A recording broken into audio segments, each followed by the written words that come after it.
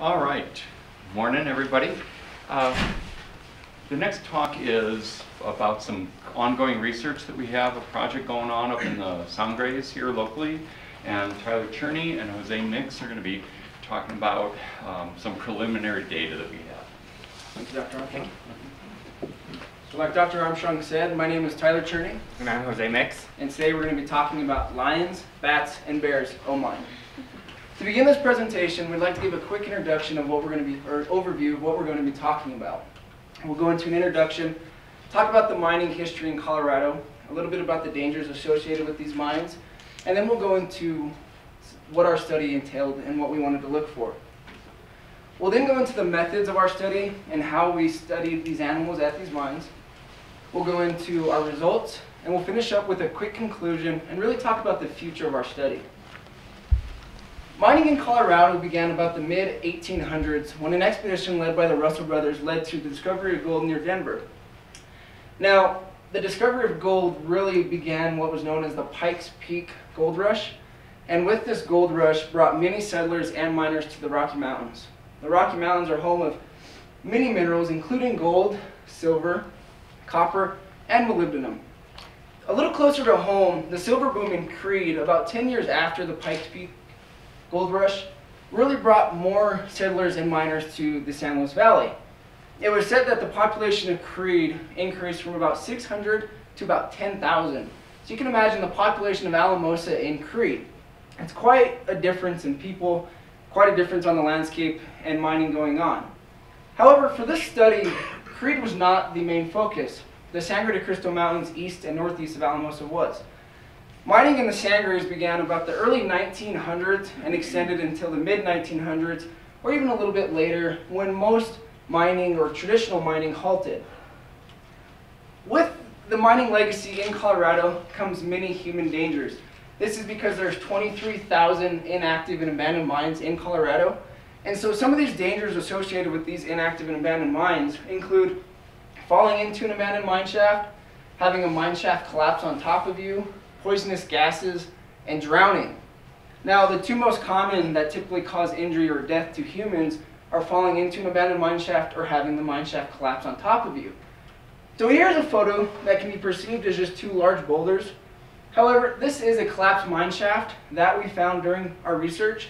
So you can imagine if you or somebody that you were with was in this mine shaft, there would be really no way to get out, which would probably result in death or extreme injury. So we kind of talked about the human dangers. These mines also have a lot of environmental concerns. So some of the environmental concerns that these mines have is something called acid mine drainage. And so what acid mine drainage is, it's the over-acidification of water that comes out of these mines and leaches into the streams of the surrounding area. And so this acid mine drainage is usually through the occurrence of sulfur-containing rocks that interact with oxygen and water and produce this over-acidification of the water that flows out. As you can see in this, mine, in this picture here, that over-acidification turned this river yellow. And this is an example of the Gold King mine blowout that occurred in 2015 in Silverton, Colorado, where it dumped about 3 million gallons of water into the Animas River, turning it this yellow color. Now, when we think about a biological standpoint, standpoint to wanting to gate these mines off, we think about white nose syndrome. And it's caused by a fungus called Pseudogymnoascus destructicans.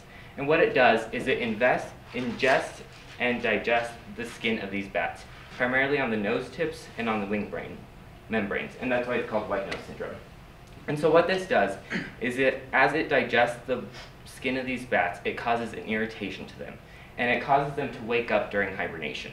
So as we all know, during the winter months, there aren't very many insects, which is good for us. But for these guys, it's not very good at all, because that's their main food source. So they essentially starve to death as they use these, those fat reserves that they save for winter hibernation to use during that short period of time when they wake up. And what it's done is it's a very harmful disease that's killed about 6.7 million bats since its first discovery in 2006 in New England. And as you can see, this is the distribution of this syndrome across the U.S. It first started in New England there, and it's spread westward ever since. There's a population that jumped to Washington, and then there's this population in northern Texas. Since it's so close to Colorado, there's been a push to gate these mines off, so that way humans and larger animals don't track their the spores on their feet or paws and transfer them from mine to mine. So like Jose referred to, white nose syndrome is a fungus and so it is traveling through spores. And you can think of spores and fungus as seeds and plants. This is how there's means of dispersal. And so yes, it can travel on human shoes as well as the paws and fur of animals. And so what resource agencies have determined to do is close the mines using bat gates. Now what a bat gate is, is you can see the mine shaft here. And basically these agencies will come in and will put metal bars across the, the adit or the opening of the mine. And what this does is it allows bats to go in and out without any issues. However, it does not let humans nor large animals such as this mountain lion go into the mine. Now this is really to minimize the spread of these spores, decreasing the prevalence and the abundance of the disease within the population of the bats. There is observations that large animals such as mountain lions and bears are using the mines. However, it is unknown spatially and temporally the use of these mines, and so gating the mines or sealing the mines to prevent acid mine drainage may have adverse effects to the population of these animals if they're using them. So what we're going to look at in this study is a little bit as, are these animals using these mines? And as we can see in the past two pictures, there is evidence that they are.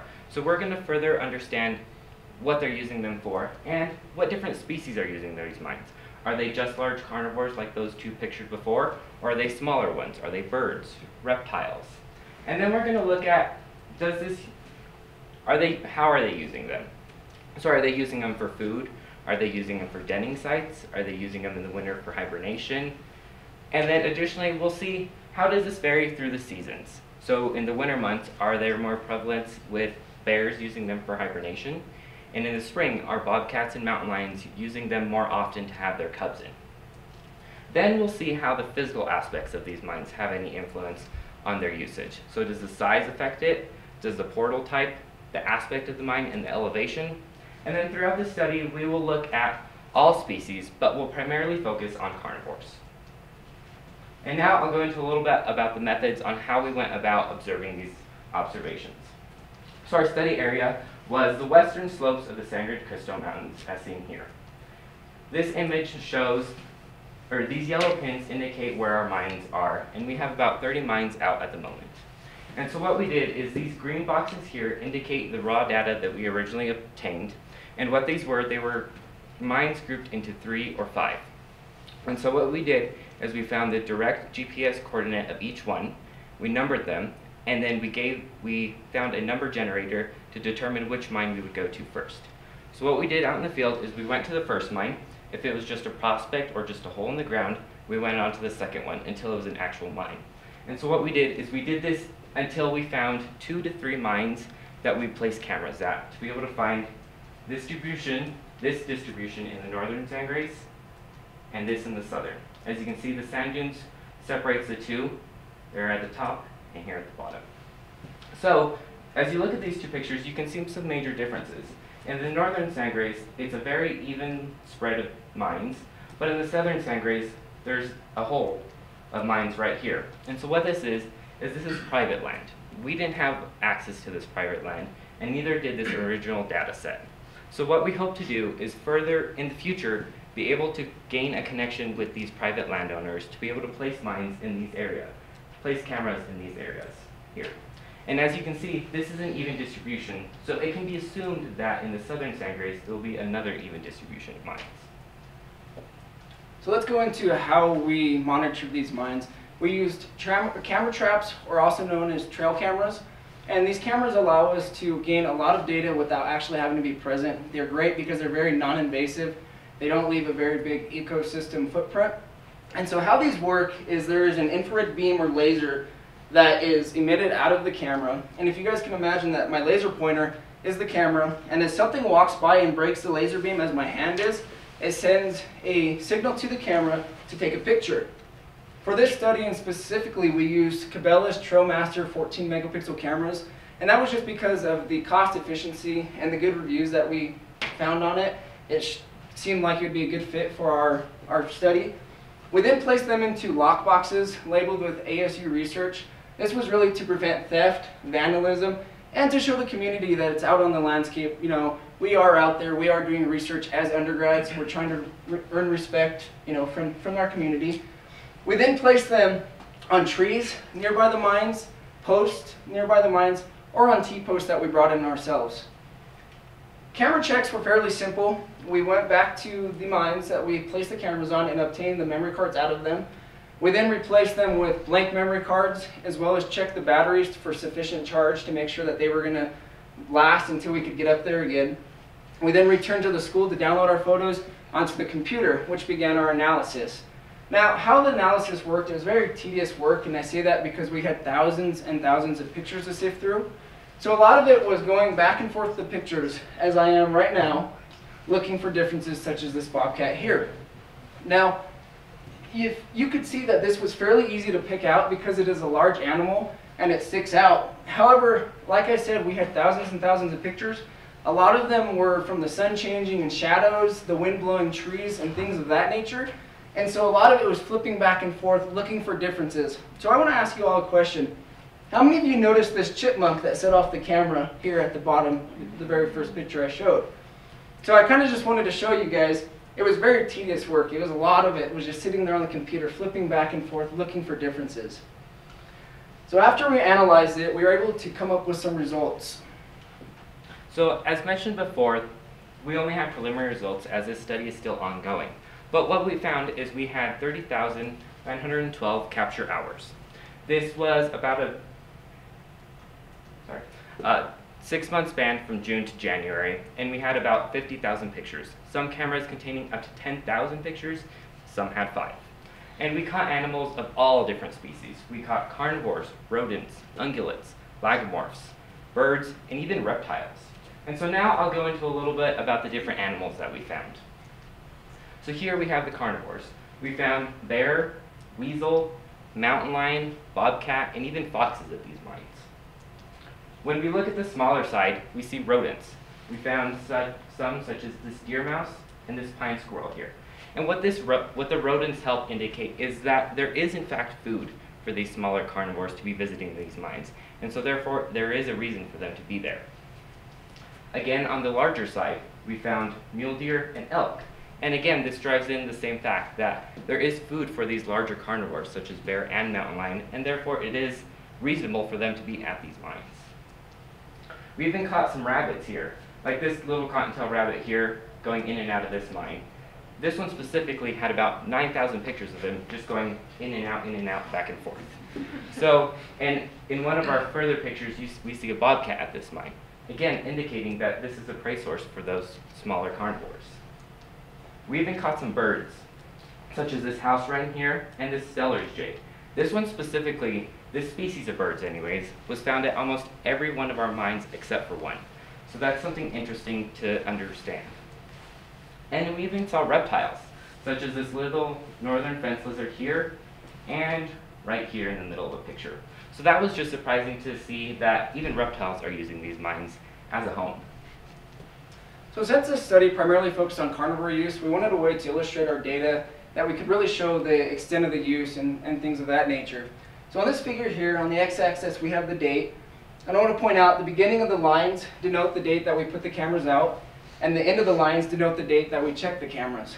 As you can see, we had a large variety of carnivore use, kind of as Jose alluded to, and the asterisks on all of these animals here illustrate that they were either using the mine at some point, they were in it for some, some time, or they were passing through the mine. These other ones without the asterisks just show that they were in the area, either checking out the mine or just passing by.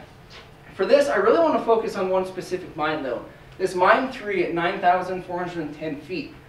This mine could be hypothesized that it was being used as a territorial spot for mountain lions, and some evidence to support that is here's a photo of a mountain lion, which can be seen as scenting. Now, big cats, or I guess all cats in the wild, and even at your house cats, will use scenting to mark territory. And so what they do is they have a scent gland on their face, and they will rub it to spread their scent to mark their territory. A little more evidence for this is that this photo was taken on September 11th at about 9:11 a.m. 10 minutes later, or 20 minutes later, there was a bear that visited the same spot to check out, you know, what's going on there. Why, you know, checking out the territory of this mountain lion. We also hypothesize that this mine may, be- may be using as a breeding site for mountain lions. And the reason is, is mountain lions are typically solitary animals. Solitary means that they occur typically by themselves unless it's during the breeding season or a mother mountain lion is raising their young. And so this photo here, you can see presumably a male is chasing presumably a female out of the mine.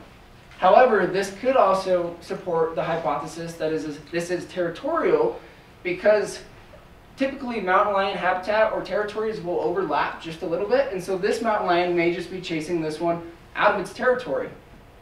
And a little more evidence that they are using the mines and maybe another hypothesis is that this lion may be checking this area out for a denning site or maybe just using it overnight or for hunting or things of that nature.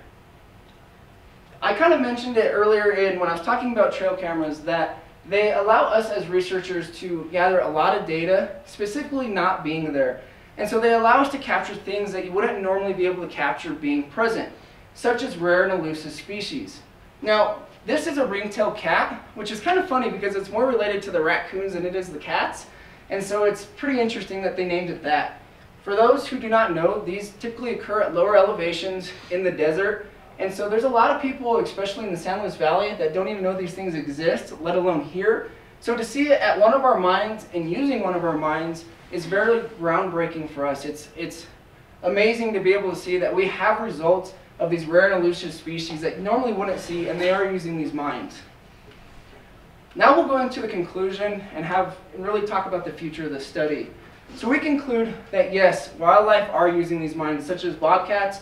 We talked about rodents and ungulates and lagomorphs, how they are prey sources for these carnivores, and that they may be the reason for their visits to these mines. We then talked about things such as birds and reptiles, things you normally wouldn't think of at mines that are using these. And then we went, or, and the extent of the use is still unknown, however, and we hope to be able to figure that out over the next few years of this study. We also expect that the use will increase during the winter months, and that's just because of denning behavior and hibernation behavior of these carnivores. So now we'll go into a little bit about the future of this project. And so what we hope to do is we hope to further analyze the 20 remaining cameras that we have out, as well as further analyze the 10 cameras that were used for this project, as they're still collecting data for us.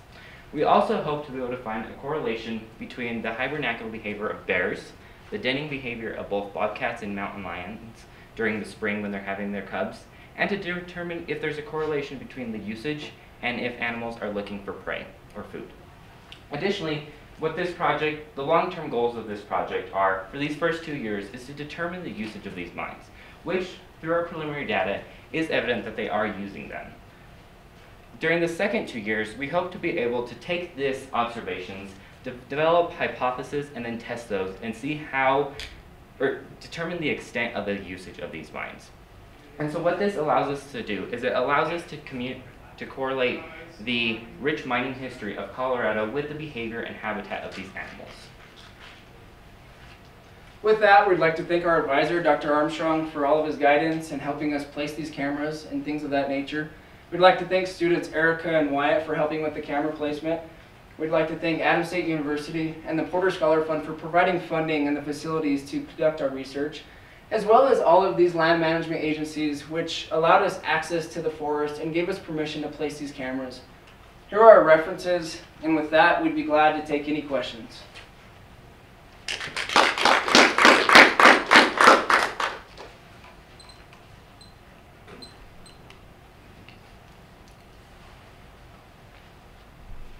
Yes, is may not be related, but it might be somewhat related. Um, the current uh,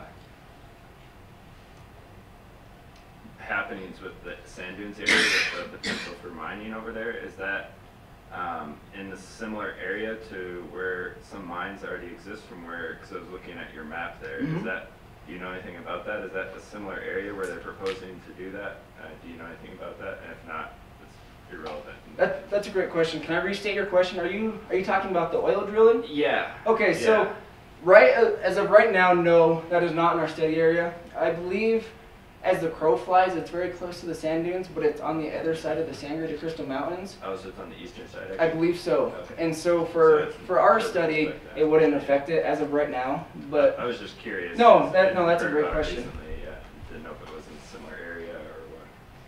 yeah, thank you.